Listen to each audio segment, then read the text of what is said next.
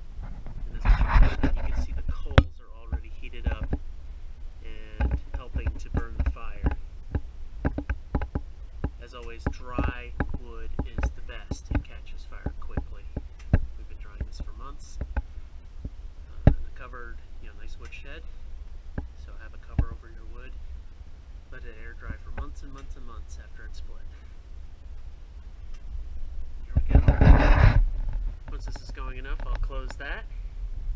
Turn on the blower. We'll get some good heat coming out. Thanks for watching. Yep, definitely looking good here. When the temperature comes up, I might uh, cut down the primary air a little bit, about halfway. Let the wood last longer. Once the coals are really hot, there's a big pile of